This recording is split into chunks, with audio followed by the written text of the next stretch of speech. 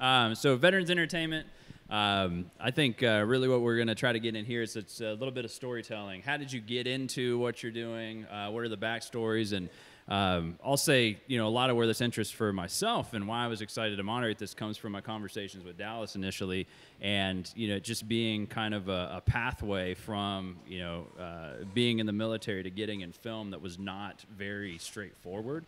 Um, and I actually think the, uh, the, the benefit or the lessons learned from that story is you can really do anything you want if you want to do it. So um, that's what we'll kind of dive into. So, real quick, I want to go around, uh, introduce who you are, who you're working with, um, and uh, then we can get into some questions.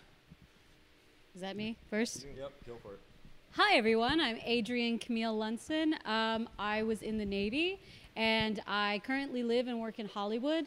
Um, I've worked for a number of studios, uh, Fox, uh, AMC Networks, um, behind the camera, and a number of projects in front of the camera as well.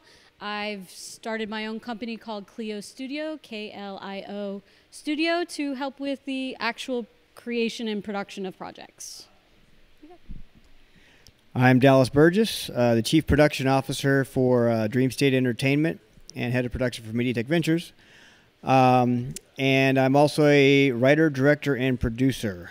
Um, I uh, was in the Army for 10 years, uh, paratrooper, uh, infantry type. Uh, and then after those 10 years, went into uh, private security contracting uh, for companies I can't mention. Um, and during that time per- period, I kind of fell into film and realized that it was what I needed to make a uh, an actual transition out of the military successful um, and sane, as sane as the entertainment industry can be. Um, and that's kind of what led me into Dream State. Uh, founded it with this Yahoo behind me here, and uh, and another veteran, uh, Joseph Seaton, uh, and then we had Chip Jordans and Lacey Edgman, and yeah, it's it's been uh, it's been a wild ride so far. Hi, I'm Elisabeth Joy.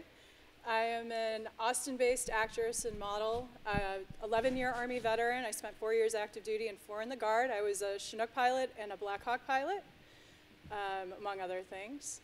And this was not a path that I had in mind. I literally got pulled into it, into a commercial about five years ago for uh, Dick's Sporting Goods doing pull-ups. And I had such a great time that I messaged my friend who got me involved, and I said, "How do I do more?" And he said, "Let me get Do you more pull-ups or do more commercials? I was both. Okay. Yeah, all day, plus two more.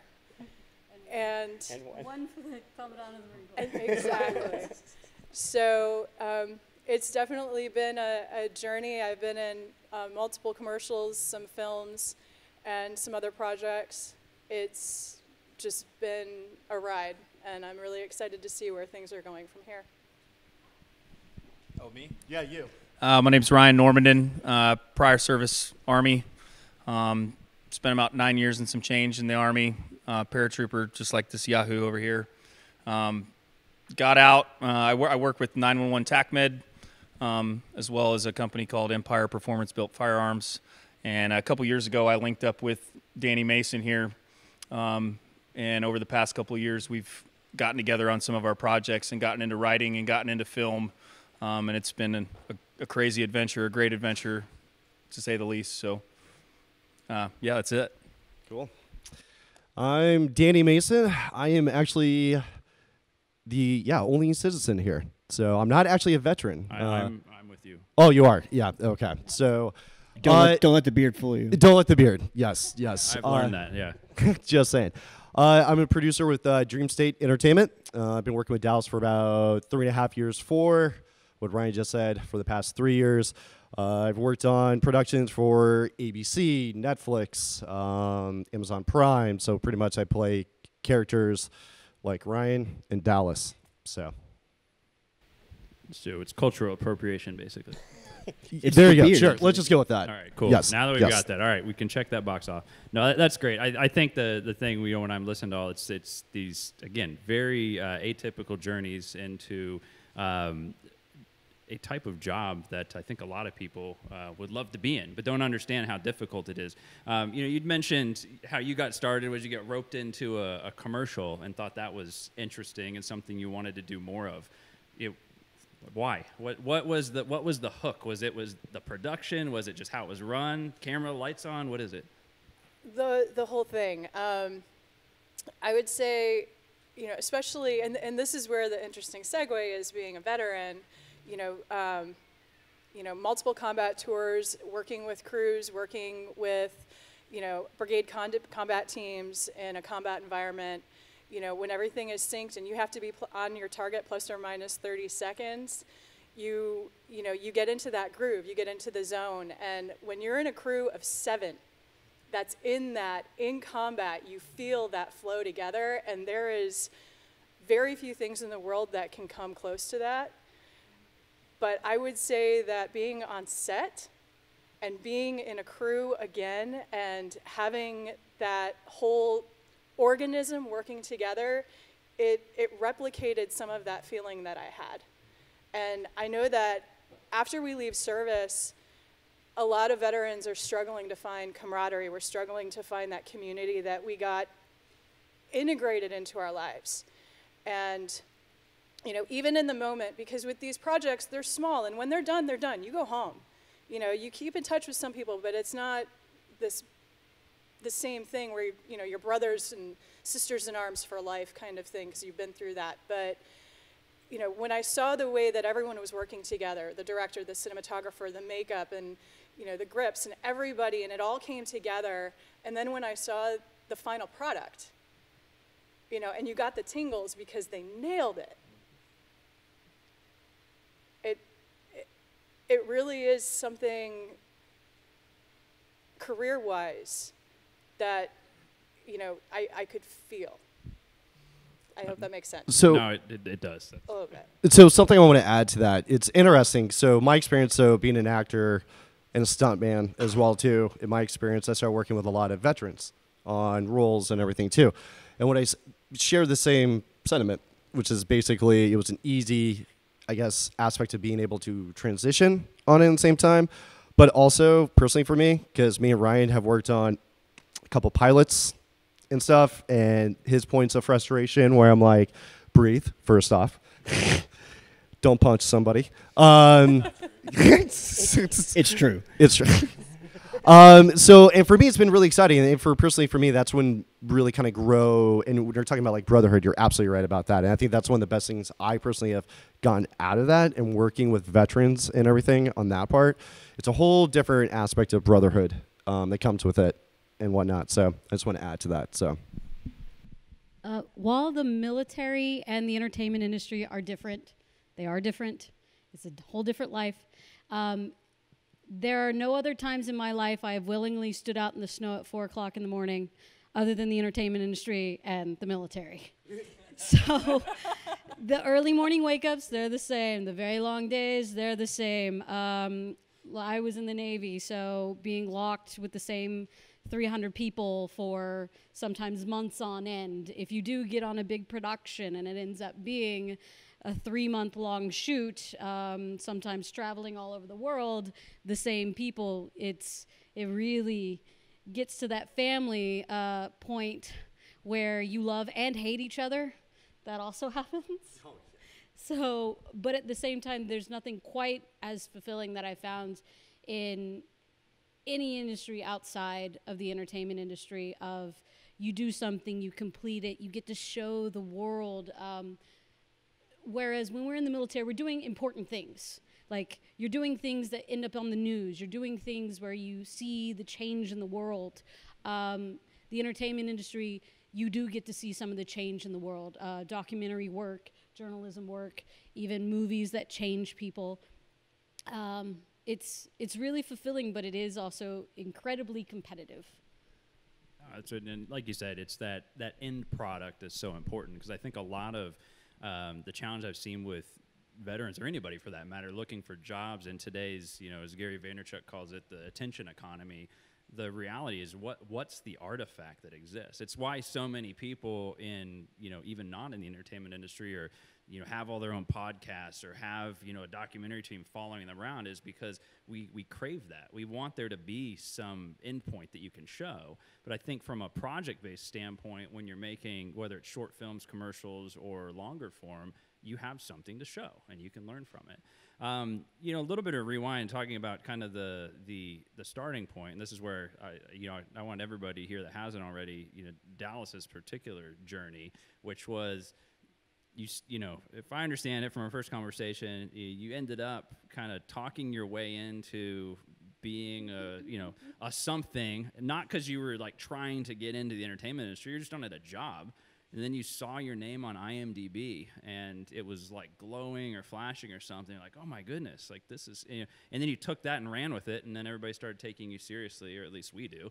Um, and you know walk, walk us through that because I think that that story is so important to show that you know on one side maybe it's fake it till you make it which I'm completely cool with you know act as if but you can do whatever you want to do if you put your mind to it. So uh, share with us more Right. So uh, when I was when I just started as a contractor, I was transitioning uh, out of the military via National Guard, Georgia National Guard, and uh, was back and forth between Iraq and here. And I um, uh, was working for a nonprofit uh, group about 80, 85, you know, kids that were in it, uh, teenagers and uh, I was looking for uh, a filmmaker in the Dallas area, uh, which is where the Corps was from, uh, the Drum Corps, and uh, I said, "Hey, you know, I'm looking for this. I want to do some promotional stuff for the group and everything." And you know, he said, "Yeah, you know what? I'm actually doing a you know a zombie movie. So if uh, you can have your Corps members be extras in the for the ending of the film, then." You know, I'll I'll cover whatever you need. You know, no worries. We'll just do a quid pro quo type of situation. And uh, so I'm like, sure, whatever, that's cool. Um, so I organized it with him, and we got the core for two days uh, to go on set. Um, and there was something about being on set that was I, I couldn't shake it.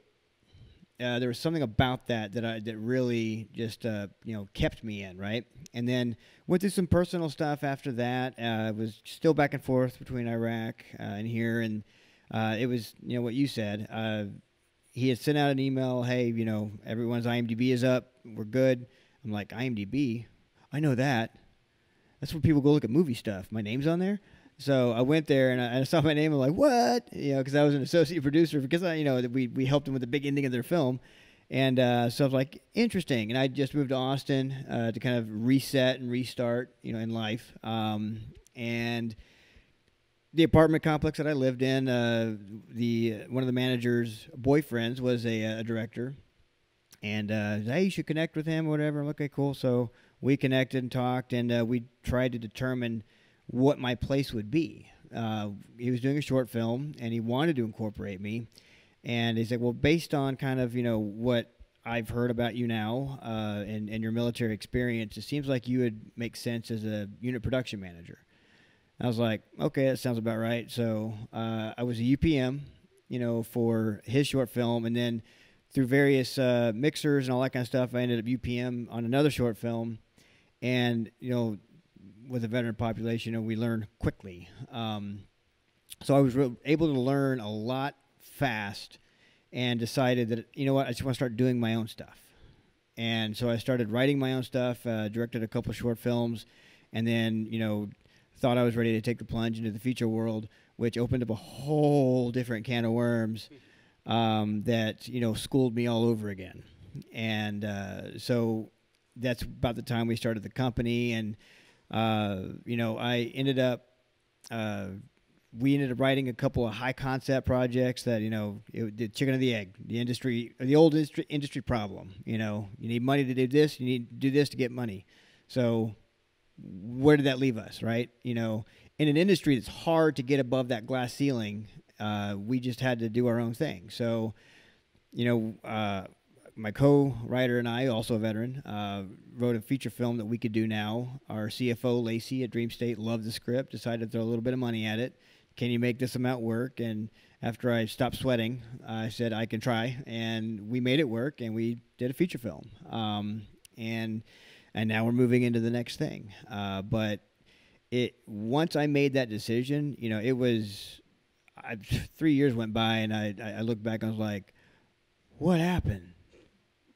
Time disappears. So, but yeah, that's kind of where it all originated from. It was literally because you know I was like, this is interesting, and now I, I've directed a feature film. I'm, I'm going, moving on to the next. I've got a wonderful team of people around me that you know that support every everyone else as well. So it, it's a, it's a family now, which is awesome. No, that makes sense. So, tripped and fell into it. Tripped and fell into it. What's your What's your backstory? Fought tooth and nail. Uh, so I actually started acting when I was like five and doing theater. So I was a theater, musical theater kid, did the whole thing. I actually made a feature film length uh, movie before I even graduated high school. It was absolutely terrible. It was on VHS tapes. It was the original Avid system, and I didn't know at the time that you could. Oh yeah, I'm old school. Um, so, yeah, it's you physically had to rewind the tapes. It was like making a mixtape, but an entire feature-length film. Um, so uh, I didn't realize it was something you could do for a living. Uh, so I did what a normal kid from a military family is. You join the military. So I got a scholarship, went to the University of Texas. Um, I looked at where the Navy had bases, and they had bases in Japan. So I was like, okay, I'll go learn Japanese. I went to Japan, uh, started working in the entertainment industry there, um, and then came back, commissioned. The Navy sent me back to Japan. So I just called up my agents, and I'm like, I'll be here for two and a half more years. Like, let's let's get this. so during the day I was at the Navy officer engineer, and at night I was working in the entertainment industry in Japan. I ended up hosting a TV show and uh, ended up producing it. Um, if you want to see me scream at Quentin Tarantino in Japanese, uh, just Google Quentin Tarantino commercial, and that was like the most I ever got Done. paid in one day. It was done, done. you survived. I did. I did. I'd actually uh, the TV show that we were doing was called uh, was on Fox International channels. It was called uh, Backs, Fox Backstage Pass, and we were interviewing American celebrities when they came to Japan. So I'd interview them in English and then speak to the camera in Japanese, which ended up when I did my second tour in Virginia, which was terrible. Uh, it was like I'm out. I'm out. Done. Um, moved from active duty to reserve, uh, and then moved to LA. Like drove. I was in LA a week after I got out of active duty. Week later, um, and started trying to work. Um, found out the hard way that if it wasn't in LA, nobody cared, except TMZ. So my first real entertainment job was actually at TMZ because I'd already been working at a celebrity like news show. Um, and that was a very eye opening experience. But um, yeah, that was my first job, and it was fighting tooth and nail to find jobs that you could actually, you know, maintain a living in LA and actually get to do what you enjoy. That, that makes a lot of sense. One, one, thing for anybody that's that's uh, watching, another takeaway there is, while you're in the service, you're basically doing a side hustle, and that is something that I will say, outside looking in, I, I it, it's thrilling to see that happen a lot more often. It doesn't mean it's. I mean, I know it's hard. It's extremely hard, but being able to get a jump start on this, even if you decide, you know, turns out you hate entertainment, at Yeah. least you figure that out, you know, a few years, but you end up loving it, so you end up putting uh, Yeah. extra time under your belt. I will say that it's changed a lot uh, from when I was doing it because then when I was I was in the reserves still I was still a reserve officer and I wasn't in the entertainment industry um, and then when I was active duty it was a big no no they I had to do the whole thing in secret um, when I got to LA I had changed my name because everybody knew me as Lieutenant Lunson and so I went by Adrienne Camille in the entertainment industry. So I had to keep the two worlds separate, and in the end, I had to give up one, and I ended up giving up the my military uh, to follow that. The rules have changed a lot. Like I got in trouble just because I posted one time in my uniform on a on my personal Instagram page. So I got in trouble for that, and then they did this big. Um, uh, photo shoot where it was like the military person in regular clothes in the picture in the mirror with them in uniform. Um, I got a lot of online harassment from that. Um, and also, Big Navy cared. Uh, now they don't care as much, especially for enlisted. So if you're going to start your Instagram channel, you're going to start your YouTube channel, you're going to start doing your thing, go for it because they're they're not going to come after you anymore. But keep an eye on Zero Blog 30 because they will make sure and roast you when you put stupid crap out there. So, um, you know, j- just because you have TikTok doesn't mean you should use TikTok. Agreed. So true. What's my What's my story? Yeah, let's let's let's dig in there a little bit. No, uh, I I had a fast-paced career in the Army. Um, did time with the 173rd Airborne during the surge back into Afghanistan. Um, and then uh, later on, my career took me to be assessed and selected to go to 75th Ranger Regiment, where I spent the rest of my career. I kind of hit a bro- brick wall. I was having uh, problems in life. We'll just keep it at that. Um, everything kind of came to a, to a head, and that was okay. Um, I had a good support net um, to get out. Uh, I just didn't know what was on the other side of the fence. And when I got out, it wasn't as green as I thought it was going to be. Um, when you're when you're that fast paced for so long, you still chase that adrenaline. Uh, for me, it was um, getting back into military training, um, whether it was police, um, first responders, military, anything from firearms to small unit tactics, stuff like that. And that's how I met him um, in Dallas as well. As we'd been doing training, I mean, to me that had, had become my therapy. But getting into the film aspect of it, um, I was looking at more of giving authenticity to the things that were being put on the screen. Um, a lot of the, the movies that we had seen and a lot of the projects that were coming out, Dallas had approached me. He's like, hey, I want you to help me out on this. And we pulled together our resources and grabbed a bunch of prior service guys to uh, basically go raid a hotel downtown Austin, which was pretty gnarly. uh, but, uh, you know, I kind of got sucked into it. I'm kind of the noob on this panel, I guess you could say. Um, but uh, it's pushed me in a different it's pushed me in a different direction. You know, going through this whole process and, and this whole journey throughout film has driven me more to write, and I've had a, a big motivation from Dallas and, and Danny especially that we have all these experiences that we've been through throughout our career, multiple deployments, and for me, a lot of prolonged exposure. I didn't get a lot of rest in between. It was deploy, deploy, deploy, deploy, train, train, deploy, deploy, deploy. And now I have time to kind of process those emotions and process those thoughts and process those memories and uh, put them down on paper. And I, I want to first off thank these two up here for pushing me in that direction to kind of get it out of your head and put it on paper.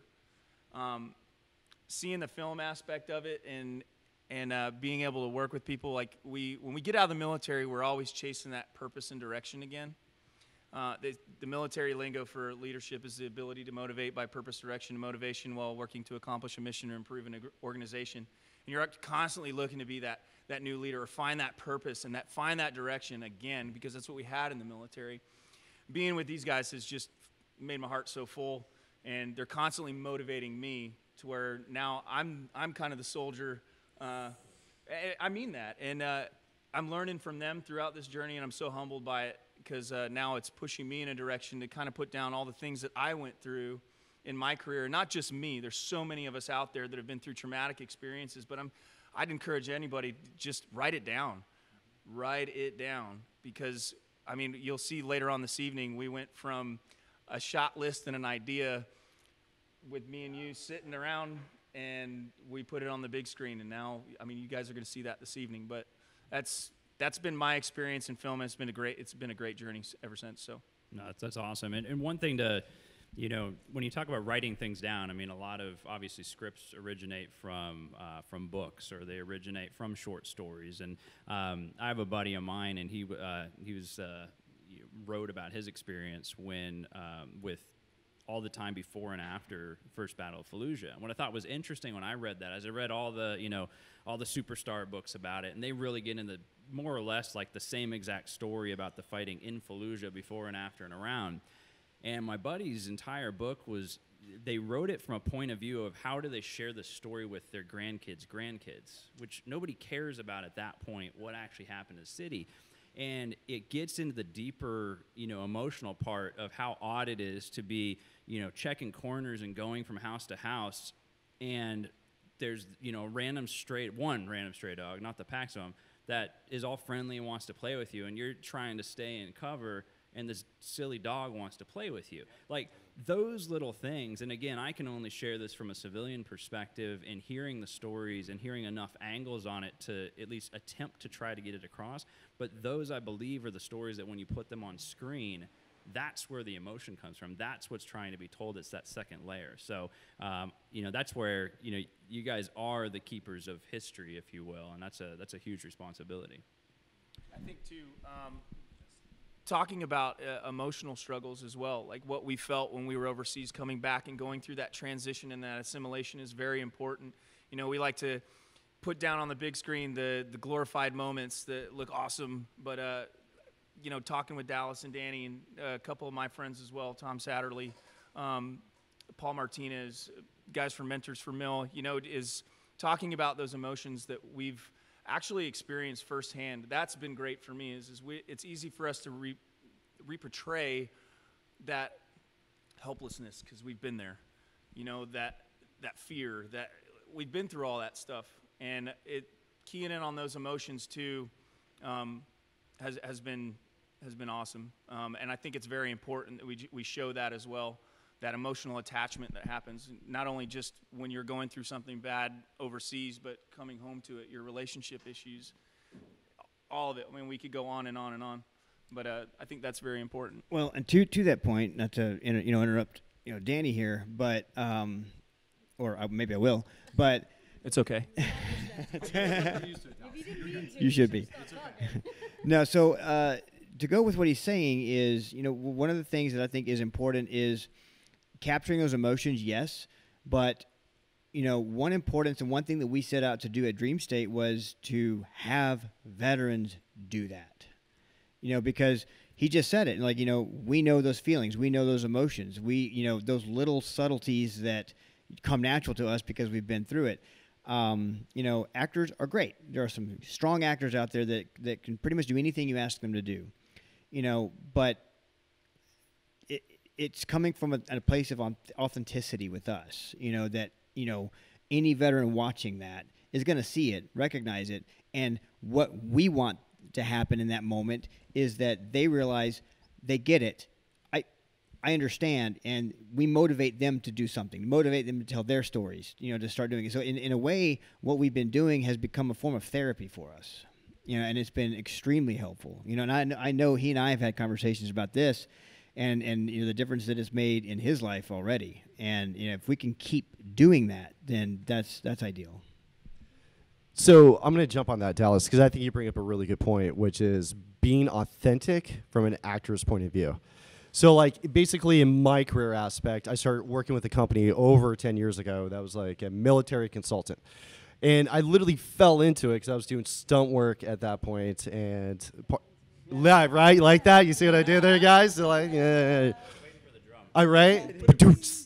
um, and my background in hand-to-hand combat, so they were like, "Hey, you'd be a really good fit." So they started like training me up in their uh, their techniques and stuff. When I quickly began to realize when I was going on production is that filmmakers and writers never did their research, never actually sat down with like veterans about the story, or actors not really sitting sitting down and really doing that research, even from the aspect of the mindset of what they went through, but the technicality aspect of weapon systems and how to change, like little things and everything, and how we as citizens have just accepted it and everything. So I made it a pledge not to be that actor and everything, because basically I just want to be like Jason Bourne um, and whatnot. Who doesn't? So I mean, yeah, seriously. Um, yeah, no, no, I do, and I did. I put in like hard, hard, like I'm just gonna fucking work with it. So I'm just gonna curse.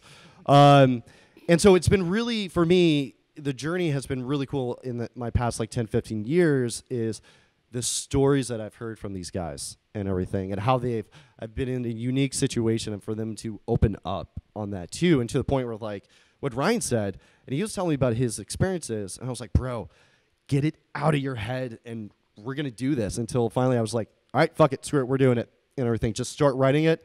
I'm like Dallas, we gotta bring Dallas into it and everything. He was coming off his feature film and stuff too. So, and it just like it was personally for me, it was awesome because it was something working for something bigger, and that's very humbling. And I think in an industry where it's ego driven, I think it's important to do something that humbles you because it forces you to work that much harder. So I just want to say that. Yeah, absolutely. Throw it. Uh, no, go, go. I just want to say too is just like this guy was out on the range every single day. You know, we wanted to do a training session. He wanted to learn how to shoot, move, and communicate. He was out there every single time, um, putting in the work, putting in the effort, um, just as if he was one of us guys. And it's that's been great to watch as well. We brought him out on some TACMED stuff too. He got to do um, some medical training as well, and he's putting in the work, and that's been great to watch as well. Well, that's and it's completely appreciated. Um, th- there is a disconnect in Hollywood. I will say because I'm not only on the entertainment side, but I'm also a veteran. And what happens in Hollywood uh, upsets a lot of veterans a lot of times because they they don't get the accuracy down. But it's also because they think they understand the military, but they don't really understand the military uh, because they've seen war movies. They think they understand war. And when I explain to them, I'm like, that's like watching hardcore porn and thinking you know good sex.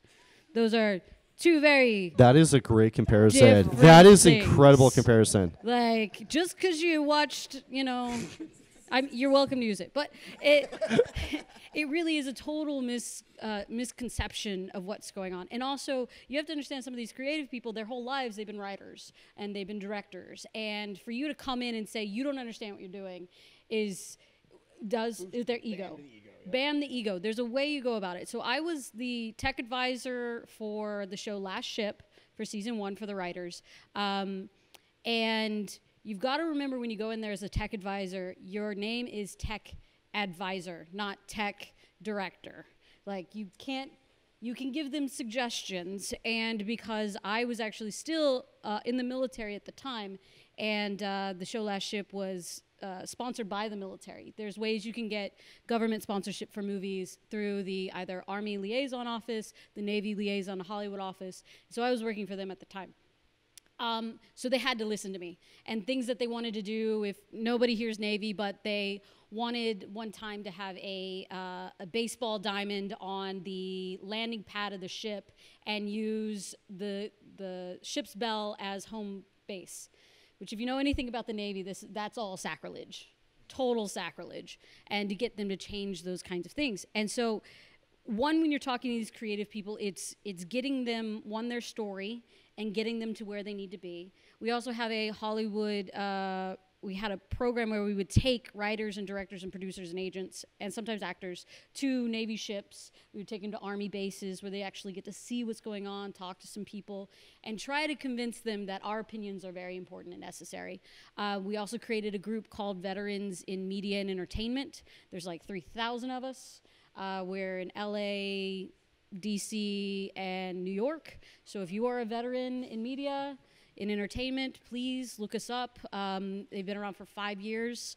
Uh, we had, like I said, 3,000 members and no suicides in a very, very uh, stressful industry and lonely city. So it's it's huge and um, trying to band together. Um, one thing I will say about the veterans getting angry at the entertainment industry is that as an actor, actors have a certain set of skills. While it is understanding the character and understanding, it's also technical. It's hitting your mark. It's not blinking. It's knowing your lines. It's being able to do the actor job, which is why many a times they'll pick actors who pretend to be military over military as they view pretending to be actors. So if you're going to be in the entertainment industry, you have to also be a very technically good actor with this great background. Um, yeah. I actually have a point on that one since Yeah. I don't have a background in acting. Um, I wasn't on the drama club. I didn't do any of that. And it was like starting over, all over again. So, you know, after I left uh, the National Guard, I was a major. Um, my last job was the medevac company commander. So I was, uh, uh, and was also helping out with um, the future pilots for the Texas National Guard, getting them put into flight school. So I went from being in this level where I was a commander to, you know, I had some skills that were translating. Um, unfortunately, uh, Army Aviation isn't requiring them to memorize uh, their aircraft limitations and emergency procedures, but we used to have to have those down cold before you could even get near a helicopter. Rote memorization. Those are your lines. Just say your lines. So some of those things translated, but I had to go back to square one. I literally would just throw myself into these commercial auditions, make a complete ass of myself, you know, be like, sure, whatever. But, you know, with the therapy side of this, you know, finding the authenticity, especially those of us who have some trauma that stays with us, we have to work through that. It takes a lot of work. There's different types of acting classes you can take that really help facilitate moving that through your body. And it is a it's a constant process for me. It's a daily thing for me still. Meisner. I I've Just saying, I, I Dallas knows this. I absolutely love Meisner. I love so it- Meisner. it was one of the best things for me when I Um, studied it. So I studied, I, I've studied Meisner, I've studied improv, um, I've studied some other really great things, but Meisner in particular was a huge turning point for me. And it wasn't even so much about what you gain out of Meisner itself as what you take home and process afterwards. And it literally is, it's time for me to go back to therapy right now. You It's a lot of trauma. it- It's there's a lot of trauma that goes a- into it. Oh no, there was a time, and I'm, I'm just going to tell this story. When I was in a Meisner class with an Army Ranger, former Army Ranger, and we got into a screaming, screaming fight with each other. Profanities. I mean, we were in each other's faces. I mean, you thought we were going to start swinging at each other. And at one point, I just looked at him and I go, "You're relieved." And he starts laughing. And he's like, I'm relieved. and our instructor just kind of sitting there like, what the, you know, it, it was it was a big moment for all of us. I mean, it was, um, you know, and of course I then also proceeded to get my butt chewed by our instructor because she's amazing and that's what she does is just continue to break you down. But it, um, it in itself, the you have to do the work. It's not just I was in the army, I know how to handle a rifle, I can, you know, shoot, move and communicate, put me in coach, I'm ready to go. I mean, there is a lot that you have to go back, go back to the beginning, you know, be a private again, be a cadet, be whatever you want to call yourself, but you know, that humility is there. I'm constantly learning. And but it, it's been such a huge thing, you know, if I were to think about where I was 5 years ago versus where I am today, and I- I will say Meisner was a huge part of that. There's an amazing instructor here in Austin, and highly, highly recommend her. Um, she'll put you in the moment. I'll give you that. Well, so All men should do Meisner because it teaches you to listen. well, the thing is, like, so That's very true. one thing one thing that I want to speak to about uh, for for Ryan back there is, you know, in in and I agree with both of you. I mean, a lot of it does. Um, you know, and I, I'm not an actor; I'm a director. But you know, the thing is, I know how to communicate. You know, I know how to communicate to um, you know to my actors, right? With me being in that position that I'm in, understanding, you know, those elements of you know of, of authenticity and accuracy, what is, what isn't. I have the ability to communicate to him.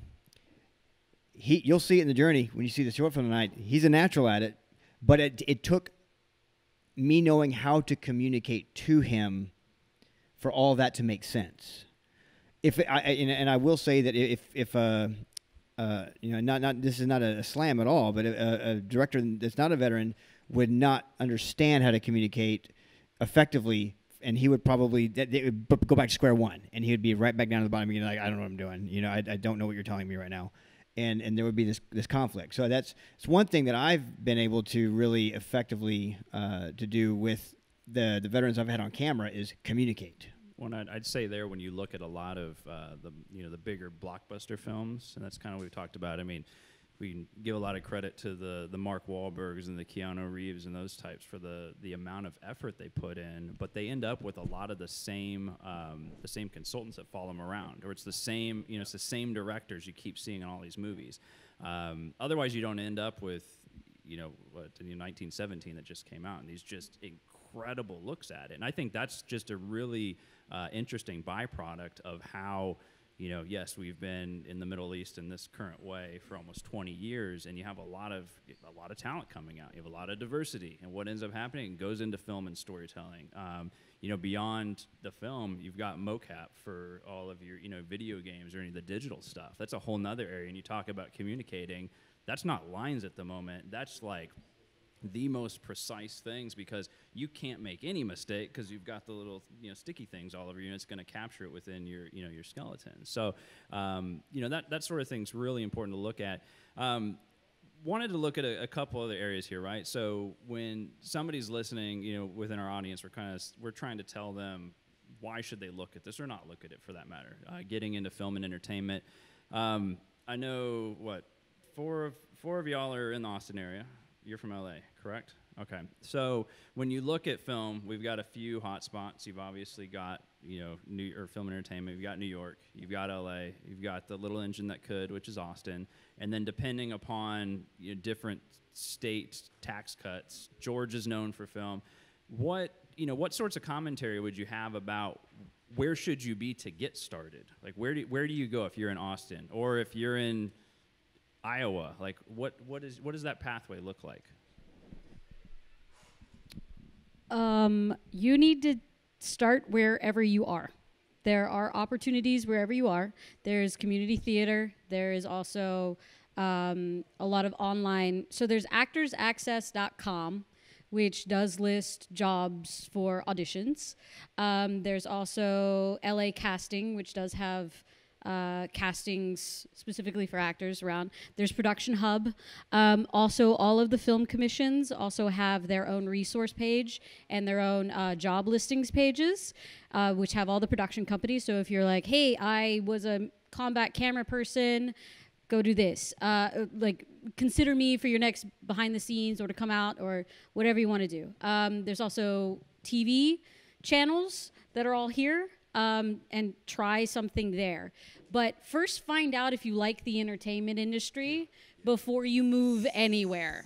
If you don't like doing theater because it's too much work, maybe look at a different part of the industry. If you don't like waking up at four o'clock in the morning, or if you don't like standing outside with a heavy camera for several hours, uh, maybe look at something else in the entertainment industry. So just make sure you like it first before you move to LA or move to New York or somewhere else. Right, and you know. You know, being from the you know city where it's the little city that could, you know, there's, you know, Austin has a lot of its own uh, things it's dealing with in the entertainment industry, and you know, uh, low tax incentives. You know, not a lot of big productions coming here to Texas anymore.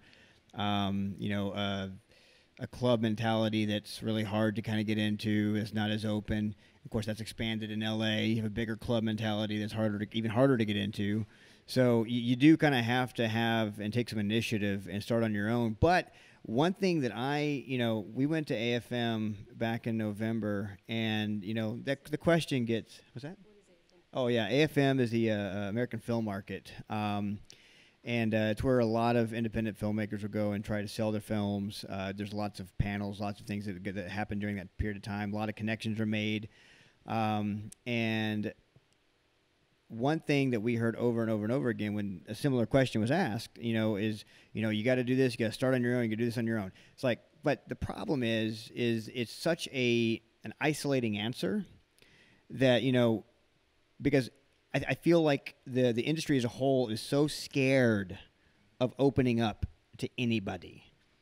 Um, so what we're doing now is we're, we're, we're doing we're taking different approaches. You know, we're you know, we're in a time right now where you can't start to challenge that mindset. And, you know, you can start breaking through that protective barrier by opening up. And, you know, we've seen great success. I mean, yeah, uh, the feature film that we finished, uh, Hyde, you know, has a lot of unfamiliar faces and actors in it, right? You know, no, nobody that's going to put butts in theater. But if you sit down and watch the movie, you're not going to know any different that you're, you're not looking at somebody you don't know because it's quality and that you know but we took it upon ourselves to do that because nobody's gonna no nobody in that isolated clubhouse is gonna do that for you right? So but find also find companies like us like dream state that are open. We we do want to work with you. We do want to bring you in. If you're especially if you're a veteran that's one of our missions you know is like come see us come talk to us. We're not we love ideas. We love new ideas. We're not trying to hold on to everything and, and protect everything. Uh, come see us. You know, we're we're trying to shake things up, and that's what we're doing. when it, and And- again, I was gonna say when it comes to just making film, uh, right now the barrier to entry financially continues to get lower. It's not cheap, but the reality is you can go and get a decent camera setup. It's why everybody's uh, you know their own documentary every single day with their their the vlogging stuff.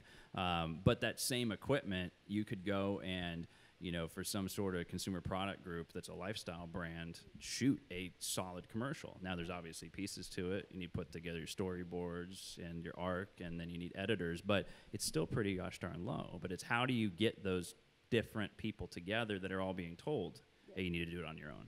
Uh, well, few things on that is once you finish this, if you want to get eyes on some of these projects that are high quality but maybe not theater, is film festivals. Film festivals are a great way to go and meet people. Like I was coming all the way to South by to meet filmmakers who were part of this process uh, because you always need your network. It's it is who you know, but it's also who your friends are because your friends hire your friends and that keeps it going. So go to film festivals. You can meet people there.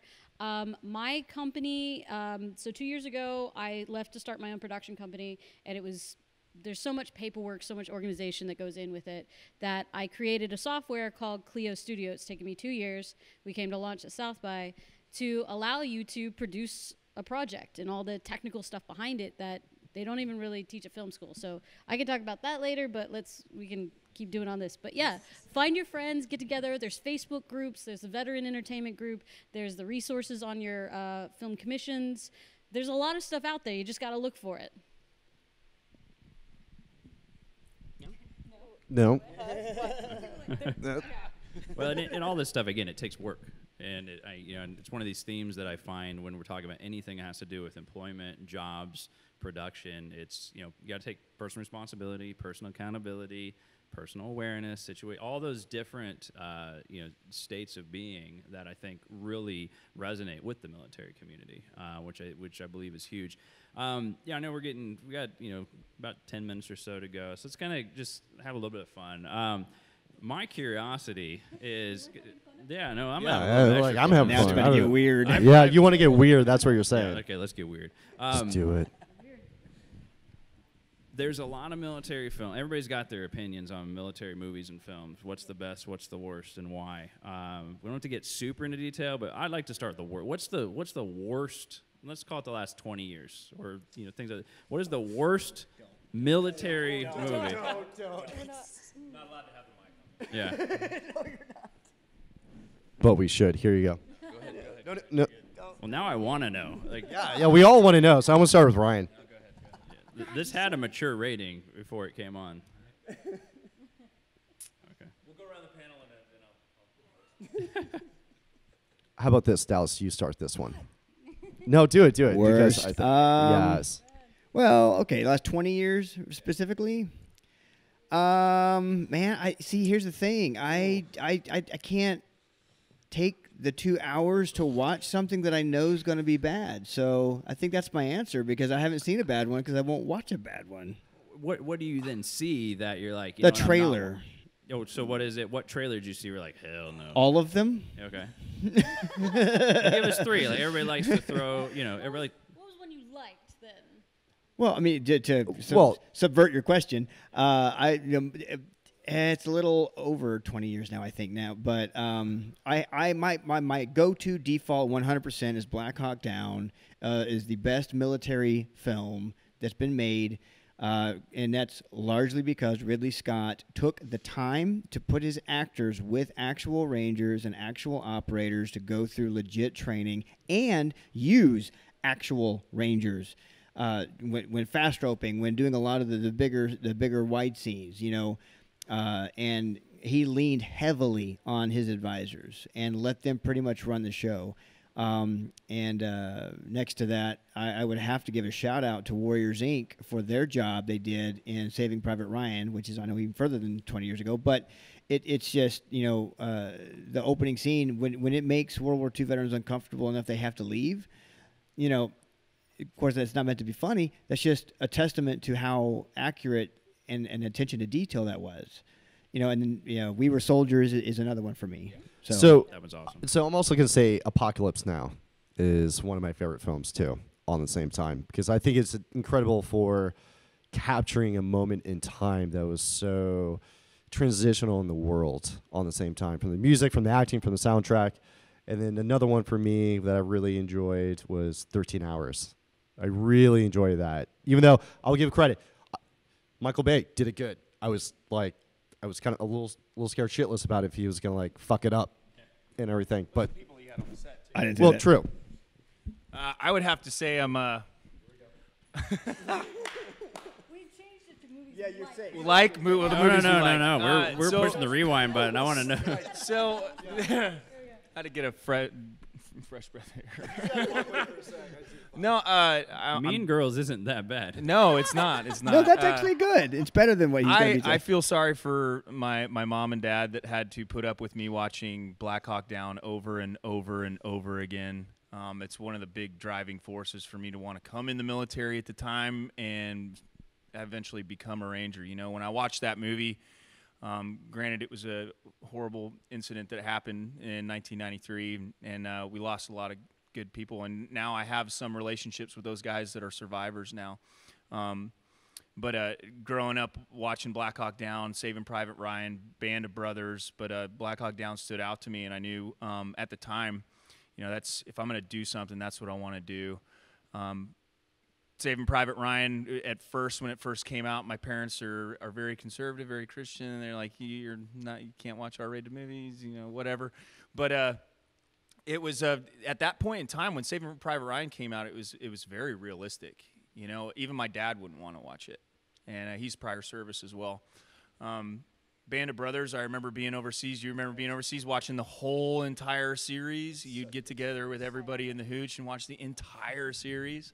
Um, but those are the ones that stick out to me. Yeah, I, that, I was actually. I, I kind of. I kind of, I like, I kind of feel like we there was- did. I There was something gonna you missed I had in that Band of hire. Brothers and, and Saving Private Ryan, al- Saving Private Ryan along with the others, and you know, um, you know, and I was in the 101st. So I had a really big thing with with that with Abe on your shoulder. Uh, and when I did recruiting, I often talked about Saving Private Ryan and Band of Brothers as the reference. You know, that was the commonality where the kids could, you know, be like, oh yeah, yeah, yeah, I have seen that movie. Um, additionally, with those, um, you know, while I was in ROTC in college, I, I'm gonna have to go there, guys. Full Metal Jacket and Platoon. There's nothing wrong with that. That's They good. were- they, They It's were fun. good. I love Gunny. I love Gunny. Um, those were very, those were very pivotal. And Heartbreak Ridge. Yeah. You know. Did you guys ever see Wind Talkers? Not yet. You know what that is? Did you guys like that? There we go. I was I'm trying to think of one, but I love Nicolas Cage, so and that's a totally different discussion to have. Stop. I, I'm not gonna. No, I'm saying I'm, I'm being. I'm gonna be good. So I'm gonna go even farther back because my dad uh, brought me up on Bat 21 and Uncommon Valor. Those were some good military movies. Uh, yeah, I'll go. I'll go old school, but uh, those were some good movies too. Okay. Down Periscope.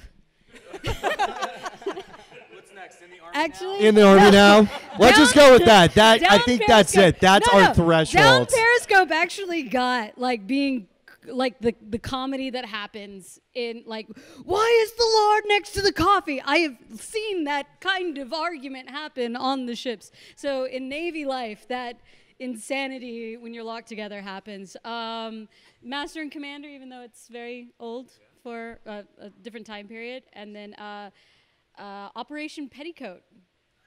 I was gonna So- do uh, Private Benjamin. Oh, Private Benjamin. Oh, if That's we're gonna fine. do that, I'm going with Yeah. Patriot.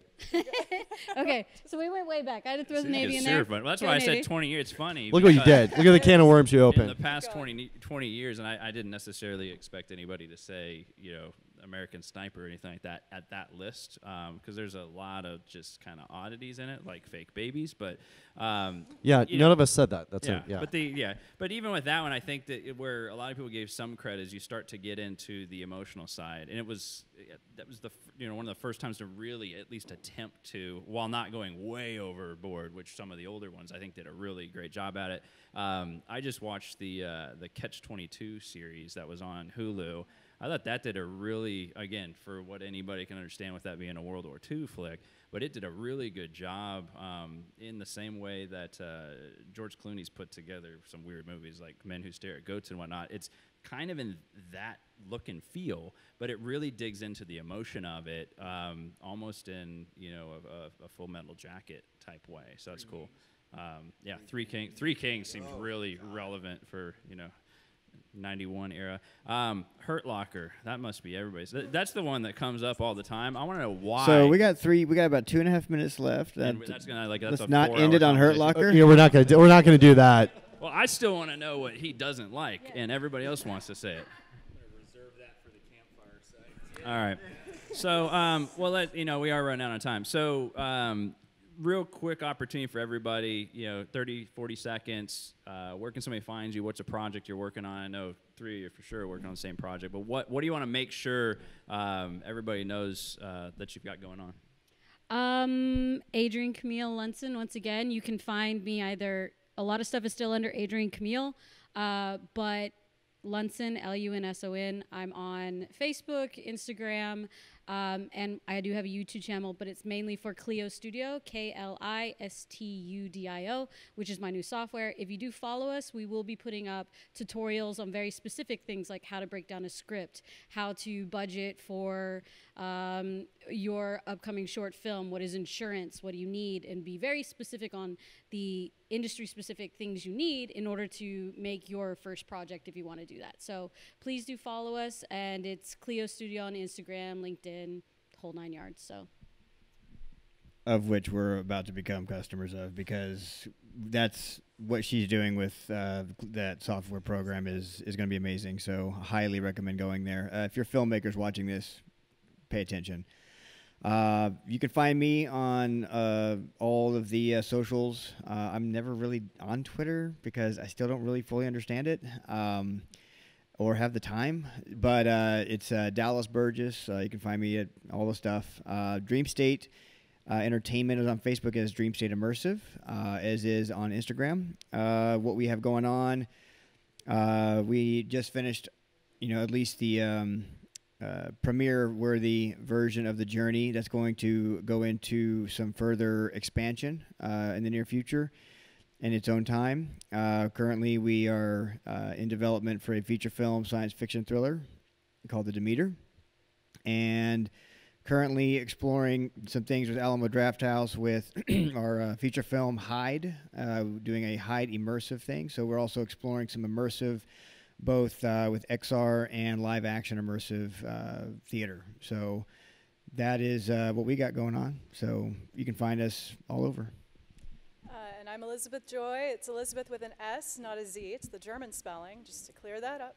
I'm on Instagram and Facebook. Uh, Elisabeth Joy. Uh, my handle is uh, underscored between the two words Elisabeth underscore Joy underscore ATX. And I'm with Calidus Agency. I have a couple of film projects um, that I'm not completely privy to mention yet, but hopefully we'll be shooting soon. And um, I'm also uh, doing a lot of dance work, and I'm working with the Austin Veteran Arts Festival. I'm the dance director for that, where we're promoting healing veterans through the arts and preventing veteran suicide. And you can find me there at www.avafest.org. My turn. Yeah, You, you guys- you you can guys find me on Instagram, uh, red3 underscore one alpha, or you can go to uh, my training page, which is Dino at 911 TACMed. Unfortunately, we didn't have Matt here today. He's out saving the world, so make sure you go follow Matt Kinney, Matt at 911 TACMed, and the official page 911 TACMed uh, for any of your training needs. Um, wish he was here. We just want to say hi, Matt, if you're listening. Um, also, too, is, is uh, we'll be doing some projects with uh, Dallas and Danny as we continue the journey um, as it as it goes. So uh, I'm looking forward to it. If you need to catch me up on Instagram, I'm not on Facebook. I don't do Twitter and I don't do Snapchat. I'm kind of dedicated to one social media thing. Makes my brain not explode consistently throughout the day.